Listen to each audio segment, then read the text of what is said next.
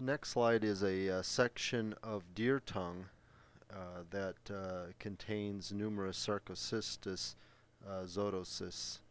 Uh, um, and in the case of uh, Sarcocystis, these uh, cysts are, are known as sarcocysts um, more commonly.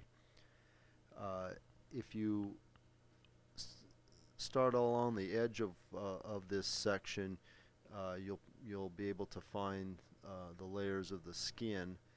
And then down in the underneath the layers of the skin you should find uh, muscle cells.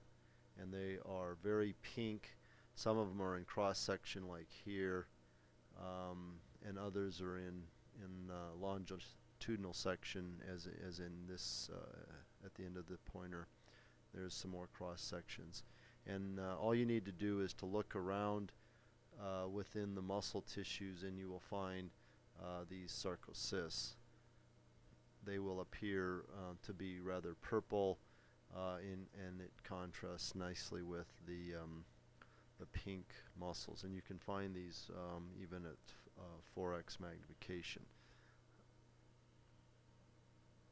With the 40x objective um, it's quite easy to see the the cysts. And uh, one thing I want you to notice is the fact that they are living uh, inside the muscle cell.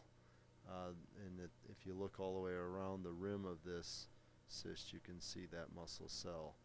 Um, and then the developmental stages if you remember uh, are present inside that cyst. And they can then rupture out. Uh,